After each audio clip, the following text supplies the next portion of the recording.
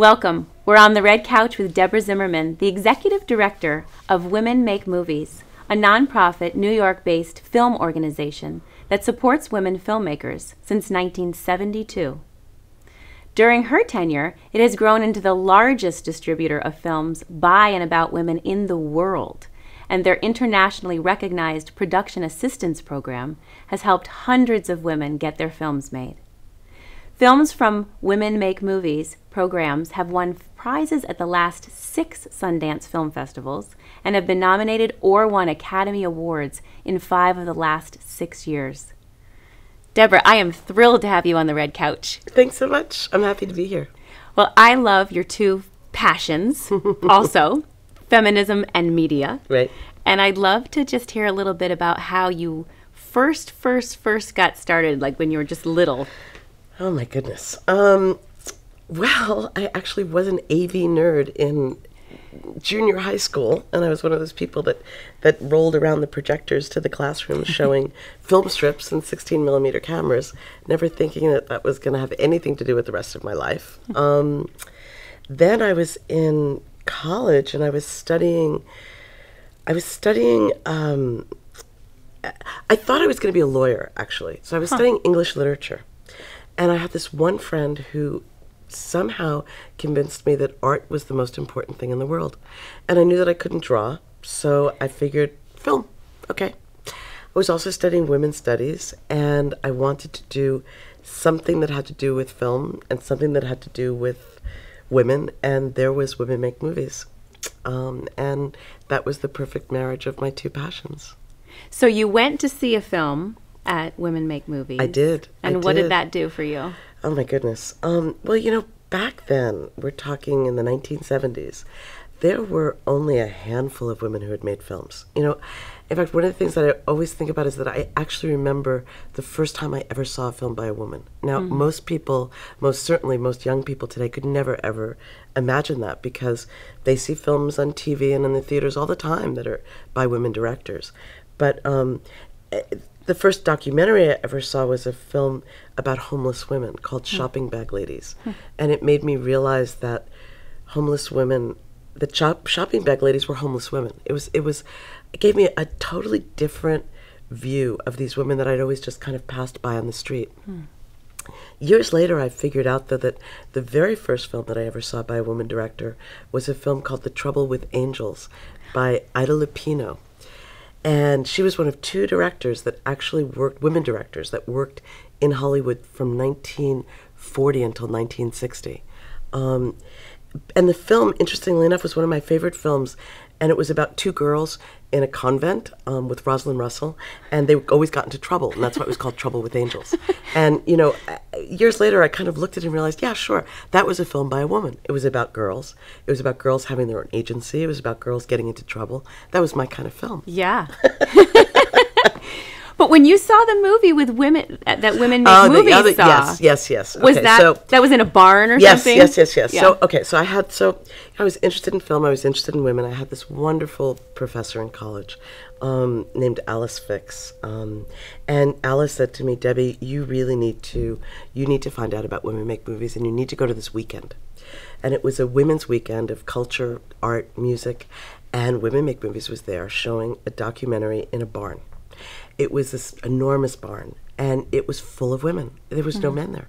Hmm. It was the first time I ever had this experience of seeing a film that actually reflected my own life, that hmm. reflected what was going on for me. It wasn't about glamorous women. It wasn't about the good mother or the bad mother or the, the you know the blonde or the. t- It was really about things that I cared about. Um, and I saw these women up there showing this film, and I said, "Wow, if I could do this with my life, I would be happy." Um, and I ended up doing that with my life, so I am really happy. That is so fun. I love the story about how you at first were a little hesitant. yeah, because it was so important to me. Yeah. You know, I was living in New York, and I um, was always a bike rider. So I rode my bike for three months up and down the street where Women Make Movies office was before I had the nerve to walk in the door and say, "I just want to be an intern here." So they said, okay, come back for an interview. And I, again, was so nervous that I came late to the interview. and they almost didn't give me the internship. Um, but I said, I promise, I'll be there on time. all the time. And I spent months actually reorganizing the files, being a production assistant, doing just anything so that I could get in the door and really learn um, about the organization. So then you left. Yeah, I did. Because when I came to the organization, I wanted to be a filmmaker. That was my goal. Yeah. I had I remember I was in my uh, apartment, my first apartment, which actually is still my apartment. I've lived in the same apartment for more than 30 years, but I was like writing on the floor. I was lying on the floor and I was writing my plan. I had a plan. You know, and a fi- I had a 5-year plan. At the end of the 5 years, I was going to have made a documentary. Well, I was so lucky because I found Women Make Movies, and because Women Make Movies gave me the opportunity to make a documentary about battered women, that I finished my plan in a, uh, my five-year plan in a year and a half. Not too many people do that. I know it was it was pretty amazing. I was very lucky, and but so I left and started working on other films and worked as a production assistant on a film that Robert Duvall directed, actually. Um, but what I found was that it wasn't very satisfying. You know, I I always said I felt like Robert Duvall's toe. You know, like I wasn't even a hand. I wasn't a leg. I was a toe. I was just so it. it I was I was unimportant. My work was not all that mm, important. Mm-hmm. When I was working with Women Make Movies, we were working on really important issues like like battered women, like homeless women, like rape and, and violence against women in general. And you know, I, I realized that I, I not only wanted to make films, but I, I wanted to change the world in some way. And working on as a production assistant on a feature film just wasn't doing it. So um, I actually made my way back to, to Women Make Movies, and at the time, the organization was having a lot of trouble. We had lost our funding from the federal government. Reagan had just come into power and decided that women have accomplished everything they need to accomplish. They don't need funding anymore. Uh, we lost our funding. And there was really just incredible upheaval. So I, I myself and another woman um, named Lydia Dean Pilcher. I'm very proud. Lydia is now a very, very successful producer. She produces Mira Nair's films Oh, wow. and some of Michael Moore's films. But at the time, she was a grad student at NYU. Uh, she and I volunteered to come in the office and see if there was some way that we could keep the organization going. Um, because there was community meetings and people said, no, we don't want to Make Movies to close. It was really important to us when we came out of college and when we wanted to learn how to make films. Um, and we realized that even though we had very little staff, we don't no staff, people were still calling us and saying, we want to rent this film. We, we want to see this film. And even though the focus of the organization was on production and workshops, it was really the distribution of the films that was the most important. So So that's when the whole thing shifted to it shifted. Yeah, we realized that to, on rebuild the organization, we, we should do it focused on distribution, not so much on production.